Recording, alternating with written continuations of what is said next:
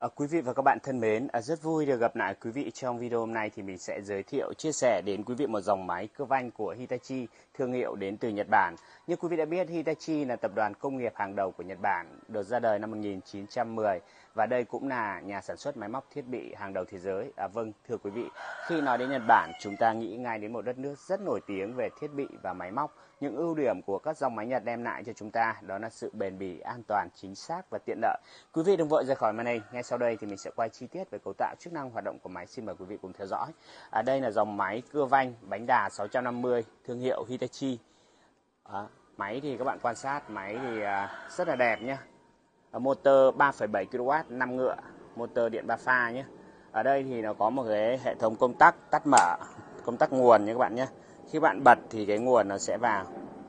Đó nguồn sáng nhé. Đây là tắt mở. Các bạn bấm này thì bắt đầu nó mới chạy. Đó.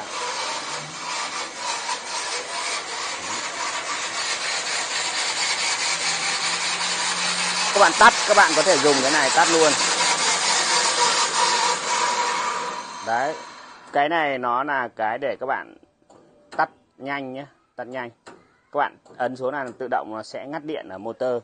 À, và nó cũng đồng thời nó cũng là cái hãm luôn. Hãm tức là nó như một cái má phanh ấy, nó phanh vào cái bánh đà của cái máy là nó sẽ hãm cái bánh đà lại. À, còn nếu các bạn tắt điện bình thường thì nó rất là lâu.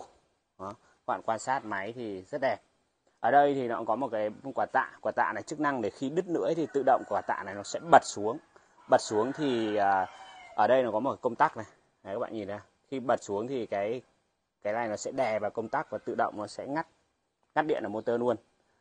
Ở đây nó có hai cái tay quay. Thì cái tay quay này chức năng của nó là để ra vào lưỡi nhé lưỡi nó ra vào cái bánh đà đấy. Còn khi các bạn muốn tháo lưỡi ra thì các bạn quay tay cái cái đây là cái tay quay để các bạn tháo lưỡi nhé các bạn quay cái tay quay này thì cái lưỡi nó sẽ trùng hoặc căng. Đấy. Còn tay quay này để ra vào lưỡi tay quay này để thay lưỡi và mài lưỡi. À, tay quay này thì nó lên xuống cái cái này nhé các bạn nhé. Ừ.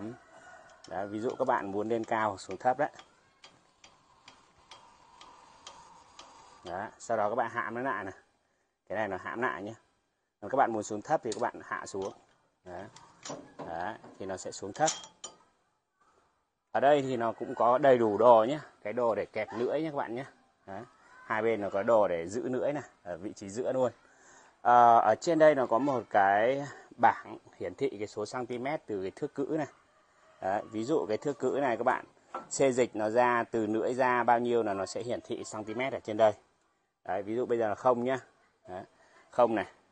Các bạn bấm để về mo nhé về mo sau đó các bạn di chuyển thước cữ ra. Đấy từ lưỡi vào cái thước này nó sẽ hiển thị cái số cm ở đây nhé đây là hiển thị số 12 này. nó hơn bờ Đấy. Đấy, thì nó hiển thị cái số cm ở đây Đấy.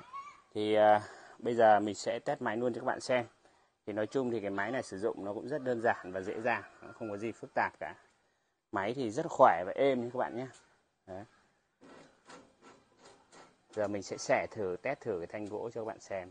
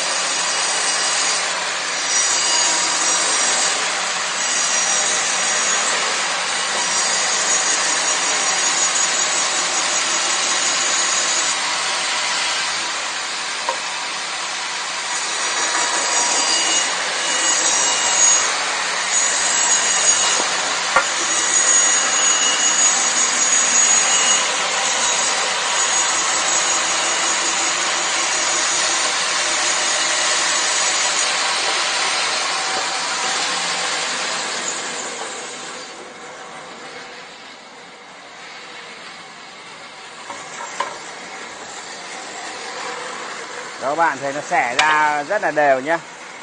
Đó. Máy này thì nó rất là khỏe luôn. Về thì các bạn à, muốn nọng muốn cưa các cái đường vanh các cái đường cong thì các bạn thay cái lưỡi nhỏ nhé hiện tại nó đang là cái lưỡi xẻ. Và cái thước cữ này thì về các bạn phải làm một cái cữ thước lại nhé Đấy, các bạn làm một cái thanh gỗ các bạn bắt nó vào đây này. Ở trên đây nó đều cái nỗ để để các bạn bắt cái thanh gỗ vào đây nhé Đấy, cái này thì mình làm đại thôi chứ mình chưa có bắt cái thanh gỗ video đây là kết thúc. Cảm ơn quý vị quan tâm theo dõi. Xin chào và hẹn gặp lại.